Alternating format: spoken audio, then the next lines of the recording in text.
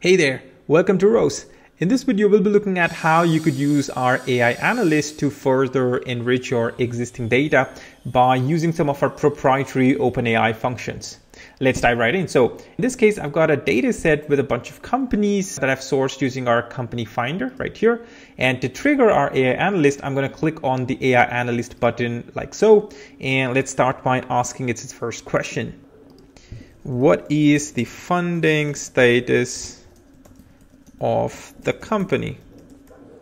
And I hit enter, give it a couple seconds. And what this is doing in the backend is it's trying to create a column, pick one of our OpenAI functions and try and assess what the funding status is. So in this case, it's using our find fact OpenAI function like here, and you'd be able to see the output like so as well.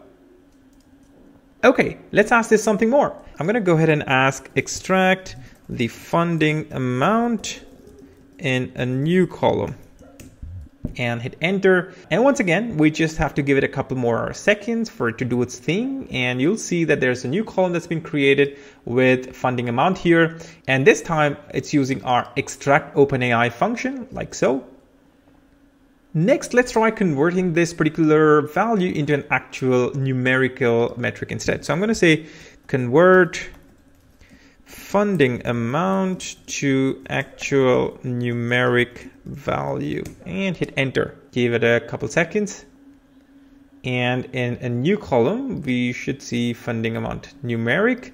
And the function it's using this time is apply task OpenAI with this particular prompt. And as you can imagine, well, there is the data that we need.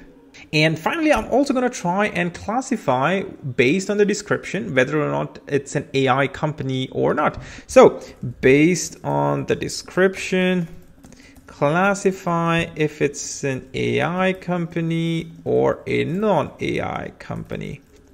And I'm to hit enter, give it a couple more seconds for it to do its thing, and let's see what the output looks like. Okay, there is column four AI company classification. And this time it's using our classify OpenAI function to do exactly just that, which is the input is sitting in C2. That's the description.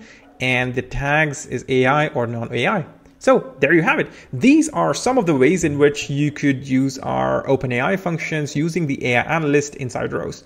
I hope this video has been helpful and thanks for watching.